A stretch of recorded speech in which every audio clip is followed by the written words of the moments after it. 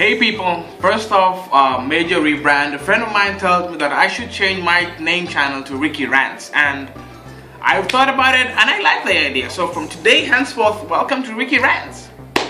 A couple of days ago, a friend of mine hits me up and asked me about the subject that I'm going to talk about today. I really wasn't going to cover it, but she kind of put stuff in perspective and I decided I might as well do something about it. So, let's get into this. tutawakata hata wakitupiga hata tukitatoka tutafuga tutakata tu si wako tutawakata tu kwa sababu hakuna kitu wanaleta For most men, we are scared. As in, that nowadays you go on a date, and if she's from Nyeri, you wanna basically pick up and run. Because um, Nyeri women have really upped the ante when it comes to domestic violence. I don't really understand uh, the amount of anger that you need to compile to get to that level. So I came up with two possibilities. Uh, option one, either Nyeri women are the most patient people in the world. As in, imagine how much time it would take you to build up that much resentment for another individual that you felt or that your only course of action was to cut off his manhood. I mean, he really must have pushed you to the brink for you to sit down and decide that, you know what?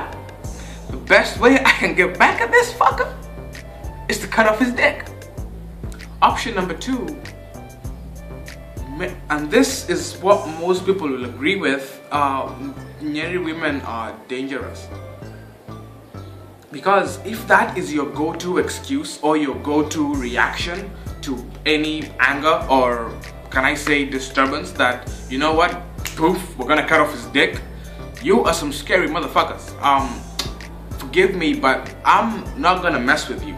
Cause I fuck up a lot. I'm weird like that. And at times of spite, at times just for fun. But if me messing with you is gonna cost me my dick, fuck that shit. I'm not gonna be a part of it. If you will realize, I've not mentioned people by tribe in this video because I don't believe tribe is what plays a part in what I'm discussing right now. I say Nyeri women and anybody or any tribe or any ethnicity can reside and live in Nyeri. So I try not to be tribalistic and I have taken that feature or I have taken that aspect and applied it to my video because I'm just not that kind of person. So the bottom line of this video is um, there is no bottom line.